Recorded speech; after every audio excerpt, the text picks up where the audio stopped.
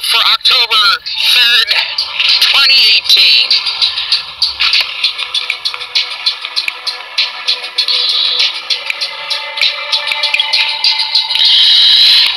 Mike Adams did an expose on the uh, leftist terrorist organization.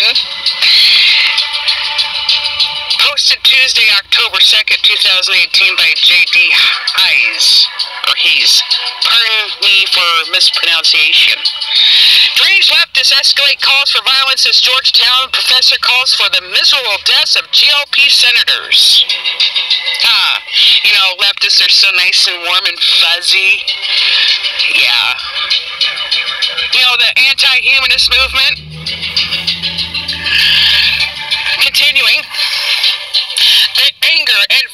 Expressed by the Marxist American left is no longer just the kind of point and laugh idiocy that it used to be. It's rising to a level of hatred that always precedes violence, and it's just not something conservatives should be ignoring any longer.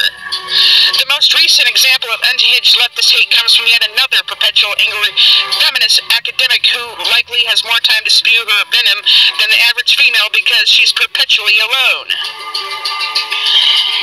Commenting on last week's hearings involving Judge Brett Kavanaugh and his primary sexual assault accuser, Christine Blasey Ford, who was a psychiatrist or psychologist that was involved in the MK Ultra uh, torture program, Masses Therapy.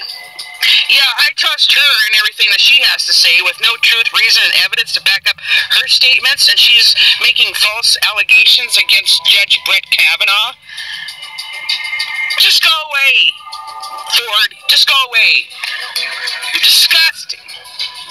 Continuing. Those uncooperated allegations have even been refuted by people she claimed were there at the time that the abuse occurred. Georgetown Distinguished Associate Professor Christine Fair tweeted that GOP members of the Senate Judiciary Committee deserve death. Campus Reform reported. Look at this of entitled White Men Justifying a Serial Rapist Irrigated Entitlement, she wrote, in reference to a video depicting, quote, Lindsey Graham's tirade, unquote. Fair, who claimed she is a sexual assault victim, don't they all, added all of them deserve miserable deaths while feminists laugh as they take the last gasps. And then this, quote, bonus, semicolon, we castrate their corpses and feed them to swine, question mark, yes, unquote. No wonder she's a feminist. What man in his right mind would want to be around that kind of hateful garbage 24-7? If he wasn't a drinker beforehand, he'd surely be one afterward. yeah, I concur. Quote, Professor Fair's extremely offensive and violent remark goes against everything in line with the Georgetown's values, quote, said T.J. Collins, a recent Georgetown grad in an interview with Campus Reform, adding that, quote, President DeGioia should immediately issue a statement condemning the tweet and Professor Fair should not be permitted in the classroom ever again, unquote. I strongly concur. You shouldn't be around anyone for that matter. Well, we know what's not going to happen. Like virtually every other major American university, is a left-wing hate magnet, teaching students that America represents all that is bad in the world. Needless to say, her hate did not go unnoticed. Quote, as a student applying to this school, I wouldn't have dared to use that kind of language on a social media platform, especially surrounding a sensitive and controversial issue. Georgetown wouldn't have admitted to me if they had seen stuff like that, unquote, said a student who wished to remain anonymous in an interview with Campus Reform. Violence is their only outlet. Yeah. Continuing. Contacted by Campus Reform for a comment, Fair just days before tweeted GOP doesn't care about them. We knew this fuck them did not demand her demeanor much. There's a war going on against women, and you and the despicable herd of so-called journalists seeking to protect our male privilege and shame women for victimization are complicit in this war, I quote, she said. Campus Reform noted. Just wow. How does one exist on that much hate? As for the vitriolic left, the casual reference to violence coupled with the easy use of a accusatory language stands evidence and rationality. The generalization of an entire gender and ethnicity has no back door. There isn't any way of talking someone out of those kinds of characterizations. There's no reaching someone who thinks this way, hates this much, and is perpetually angry.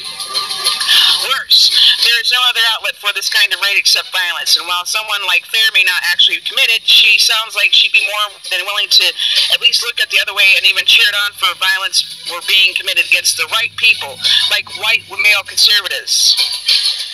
That's what makes this kind of inflammatory rhetoric increasingly dangerous. It is anger searching for an outlet, and when it finds one, there's no going back.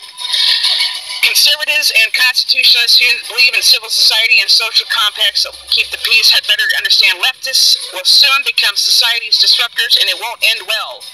Read more about the coming left-wing violence at violence.news. Sources include campusreform.org, thenationalsentinel.com. Okay, here's my take on this. You want to incite a genocide and violence, you know what that is?